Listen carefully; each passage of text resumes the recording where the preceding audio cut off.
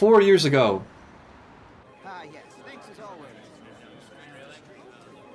I see we- we've explored the darkness of the human heart. Now it's time to explore the darkness of offices. Sales offices. We'll make arrangements right away. I used to work in this kind of environment. Oh no, no, no, no, no! Not at all. It's all thanks to you. Reigen coming from a sales background would make so much sense. Or is this him starting his business? I wonder what I should do now.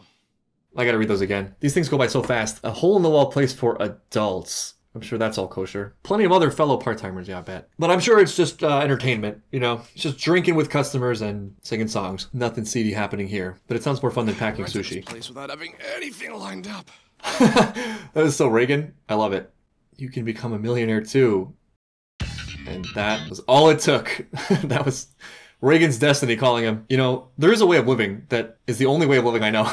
where you're kind of just winging it. I think the way I always heard about life being was you identify a passion, you figure out what the way to make money is in that passion, and then you get the required skills or accreditations or whatever you need. And your wish is then realized in that way, and you can sort of reap the rewards of your success and enjoy what you're doing. What I've always done um, because planning is difficult for me, is I'm like, this looks cool, and then I throw myself into that, and then I I drown or almost drown, and I get knocked on my ass, and being knocked on my ass frustrates me, and so I just keep eating it. I keep eating the blows until I actually emerge into a point where like I have some stability in that, that thing, and I get vital lessons from it, and then I move on. It's sort of like crashing through walls with your face. Like it's very robust in the sense that you're not insulated from life. Like life will just whittle you down into something more pure. Living like that man it's a rush and it's a high and god is it exciting to follow your gut like that and throw yourself into whatever catches your attention? But man is it painful. Like the lows are are, are low. The lows are really low. But so are the highs. And so you keep you keep going and you don't even know where you're going. You just sort of enjoy the ride and trust that it'll be good as long as you stay true to yourself which is not always easy. Reigen is a very follow his heart kind of guy and he exudes experience. You know he has that sort of street smart thing and wisdom that i feel comes not from like sitting around thinking or like reading but like just from being engaged like really engaged and hands on with life gripping the moments in front of him and being forced to reflect that way you know being forced to grow that way. It's a strategy for sure. I don't recommend it for everyone but that's there you know if you can stomach it if you can stomach the uncertainty and you can sacrifice people not understanding you because i think more common is to find people who prioritize stability and therefore who want that for you and maybe don't know another path. You got to eat that you know you got to eat the failure of not having things materialize immediately and have no, having nothing to show for what you're doing. But of course because you're in that unventured territory that's the area of like massive potential. And i guess that's a big part of the individual journey you know finding that that balance between growth and passion and adventure and engagement with oneself and sort of health safety stability foundational growth. And it's tough to know where that line is sometimes. Poor lonely whitey.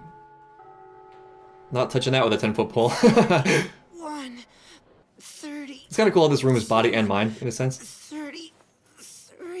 That's actually really impressive, considering his scrawny arms. And it's so funny to watch him struggling with this after like that amazing demon fighting sequence. You've gotten stronger, Kageyama. Has Time he to ever. celebrate. Your muscles are growing and evolving. All that training is finally paying off. And that works internally as well. All these improvements are making him more confident. Yeah. Just look Damn at that right. He should be more confident. He's, the best. Looks like Mob's having fun over there. We hate people who have fun. Is it really your birthday? Technically, yeah. There's just so much to celebrate today. Love it. Why don't we throw a big group birthday party? We could hit up a family Really like where restaurant this and is have going. some fun. I really like where this the is way going. You think, Saruta? I want nothing more than a birthday party with the Body Improvement Club and Mob. I never thought you'd stick with the Body Improvement Club for so long. Yeah, I thought he'd throw in the towel pretty quick. Kageyama's persistent. I'll give him that much. Connie believes in him. so him. do you have some big goal you want to accomplish? Hit it hard for another six months, and you could reach the level of an average seventh grader. oh no. But he said that with so much joy and confidence. I love it. Karaoke? Yeah, dude. Have you never been before? All right, let's do it. It's not often we get a chance like this. I want this. Well, I, I want this in my life. If you insist. How do I join the Body Improvement Club? It's really nice. Spending time It hanging is out with friends. Hell yeah. It's so much fun. Right? Look at this kid. He's successful. Speaking of like, he aimed for something face first. I'm not sure what the deal is with Tsubomi. I feel like there's something else going on with her. It doesn't matter that it was for a girl. It would only matter if that's where it stayed. Mob had a burning question in his heart, and so he set out to understand life and he took on challenges. And I almost feel like there's no taking on challenges, like sincerely taking on challenges, that doesn't lead to some kind of growth. It's like a, a shortcut. You want to improve, you want to grow, you take on something difficult, or you take on something that pushes you, or you take on something that's a weak spot or an insecurity. And he was aiming for social skills in a sense, and that sort of led him on this path that ended up with him having social experiences that are really great for him, even if it wasn't what he initially envisioned. Life has a path, right? There are certain currents for most people, or maybe, you know, speaking for myself, it has a way of pulling you in directions you didn't think you would go, but it goes nowhere without the momentum, and that momentum is sort of a self decision. You got to be in it to win it, you know? Mob is all the way in it, and we've seen some of the pain it's caused him, but that is great. You know, that's sort of necessary. He would have been worse off having never gone through it, and I feel like everyone watching the show just.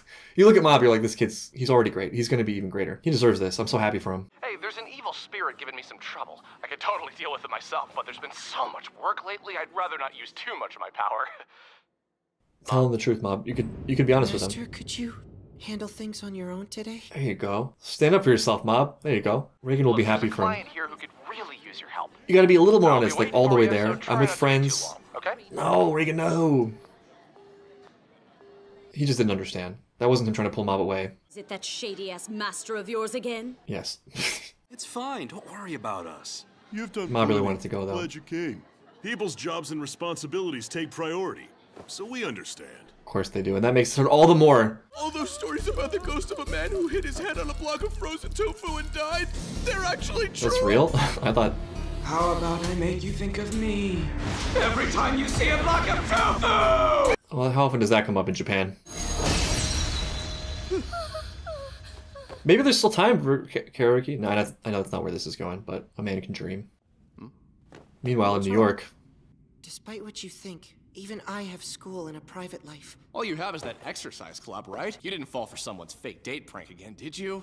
Eh, You were so gullible. yikes. Would you grow up already? Oh, this is one of those tragedies of misalignment, misunderstanding. Do they really understand who you are? Reigen's fallen into a similar trap other characters have. I'm one of the biggest reasons you're able to control your powers. Without me, you'd be a lost cause. What is this weird trip he's on? If anyone is going to get in the way of your exorcism job, get rid of them! Those kids don't actually care about you at all, No, understand? no, Reigen, stop. Just having fun Stop. blocking someone Stop. as wimpy as you. No! Is he possessed? Is this a spirit? I'm starting to realize that not everything you say is true.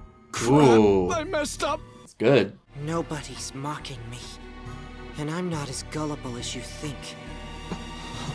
Ah, it's sort of terrifying, but I love it. Reigen got a little ahead of himself there. Got a little bit too big for his salty shoes. I'm personally riled up because I wanted to see Mob sing a song, so I get it. This came up in My Hero Academia a lot, where there's always more to be done. There are always things to be doing. If you're fortunate enough to be in a place where your actions actually have meaning and value, it's tough to let yourself off the hook a little bit sometimes. But the truth is, you're made stronger in those things of responsibility and of greatness by having other things sort of in line. You know, like I learned a hard lesson over the last year where I had been sacrificing something essential in my life for a very long time, and it made me a little bit desperate. It made me a little bit weak, and it made me sort of fall into a hole that has caused some difficulty and drama and interfered with other things in my life. Mob is a kid and he obviously needs time to explore that. And he needs to have friends. Despite this terrible exchange, I love Reigen. Reigen's a great person for him. But Reigen's not a friend, right? Like at most he's an older brother, but he's more like a mentor. Mob needs peers. And also like couldn't do a whole lot better peer wise than the group he was just with. Promised this client we'd help in advance.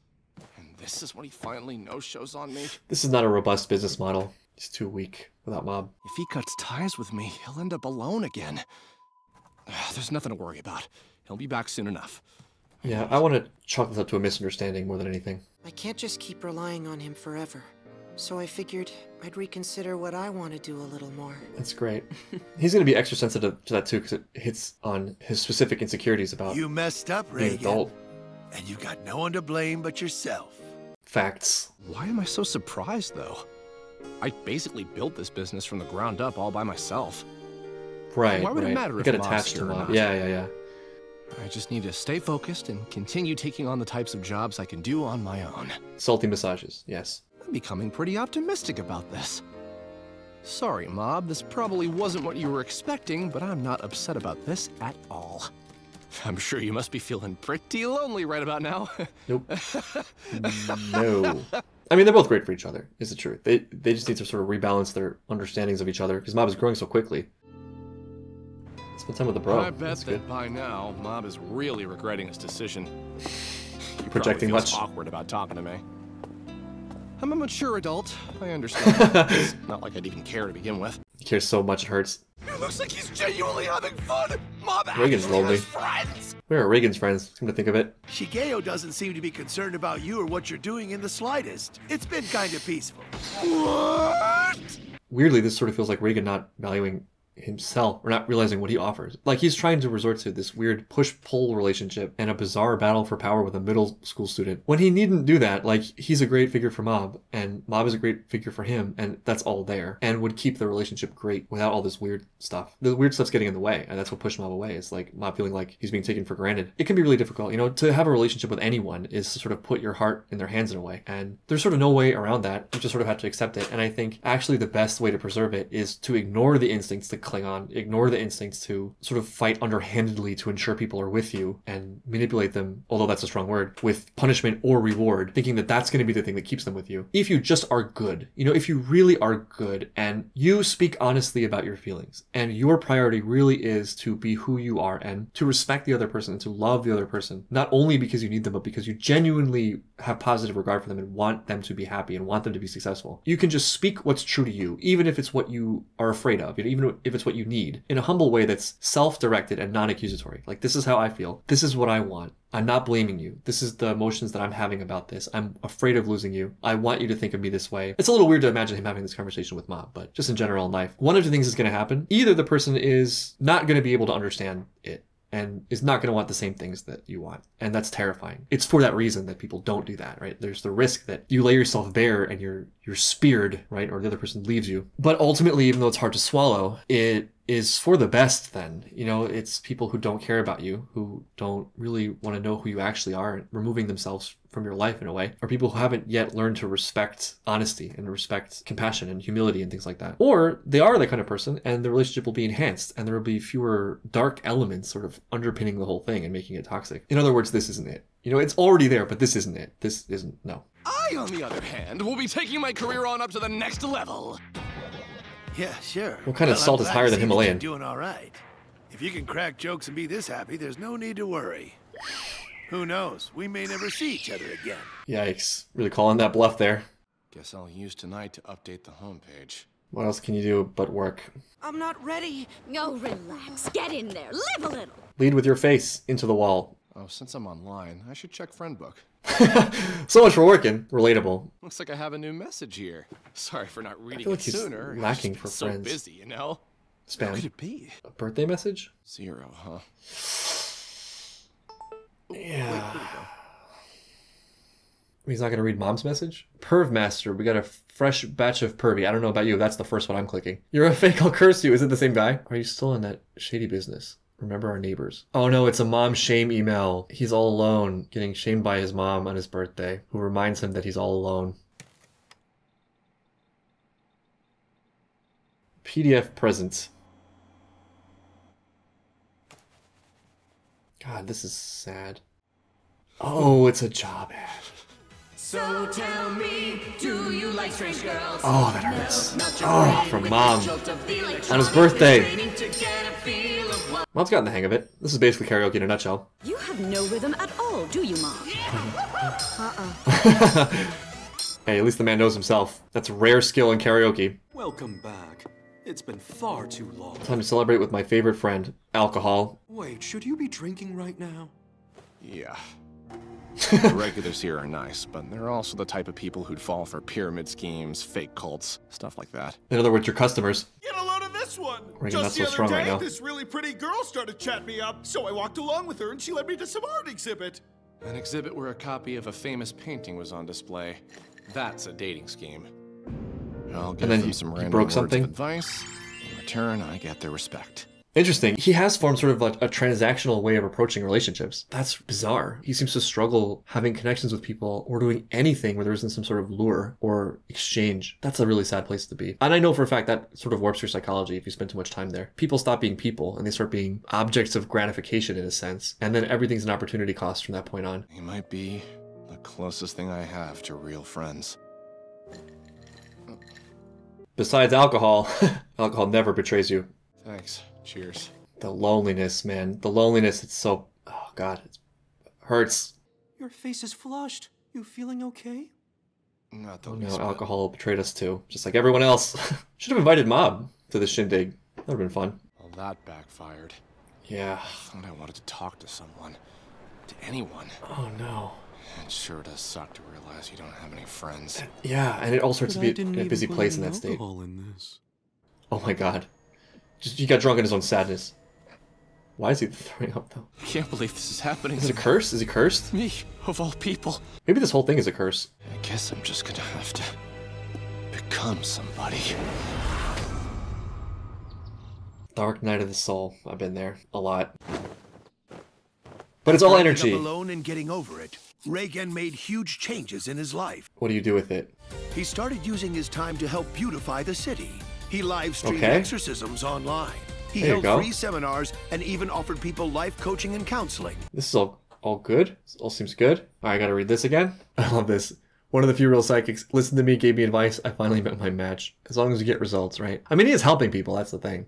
There was a rumor that the player killer was actually a ghost. Online ghost. Reigen used multiple accounts and stayed up late night after night. He then baited the ghost player out, surrounded it, and beat the living crap out of it. In doing so, he finally succeeded in the exorcism. Pretty cool. Got to play games for a living. I made too many in-game purchases and now I'm broke.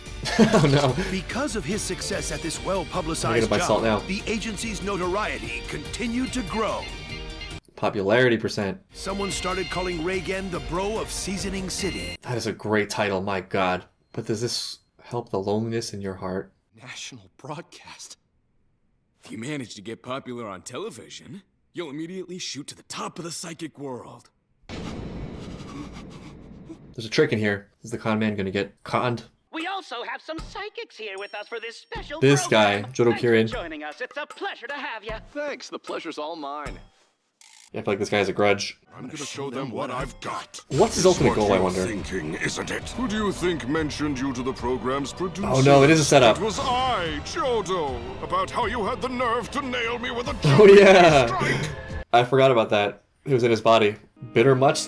What? That's the end of the episode? Damn it. Not much mob. The Reigen saga. I'm really glad for this because Reigen is an awesome character and obviously has a rare wisdom and is just super cool and capable. There's a darkness in, in there. I think I speculated that he was running away from something. Well, there are certain things that seem to be catching up to him. It's unclear to me and I'm guessing to himself what his priorities are. He's trying to prove something to himself, it seems, trying to prove something to the world. I'm guessing it's no coincidence that he's an outcast or that he doesn't have a solid social circle. The guy's got a chip on his shoulder and he's a survivor. He's had adversity and he sees things as transactional and weighs costs of people. I mean, he has a warm heart, but I think probably his experiences have left him somewhat jaded and distrustful. And that's a tough place to start from in forming relationships or navigating the world. It's interesting because he's successful in this way. And to his credit, you know, he built that, like he made that himself. So he's a success, but his success seems to be a cover up. Him trying to mask other pain or fill holes with things that don't fit in those holes, and nothing is going to feel quite right until that is addressed. And I think the answer lies with Mob. Not Mob as a friend, but in the way he treats Mob, sort of seeing him as someone to sort of have on a string and to use for his own advantage. You can do that with people. It works for a while. Or for a short time. It doesn't work forever. People get wise to it. People want to be valued for who they are and they want to feel loved and they don't want to feel like tools. And Mob has enough going for him that he's not going to be stuck there in that state, even if he truly loves Reigen. It hurts because there actually is a great relationship there. There's a great potential there because they're both amazing people and they both are great complements to each other. And they love each other, clearly. You know, you ignore these things at your own peril. You ignore these fundamental human needs at your own peril. They have a way of bringing everything down. But for Reigen, it's there for the taking. It just depends on how he frames other people and how he sees himself in relationships and how much he's able to sort of let the defenses down, open up, and be the solid person that I know he is.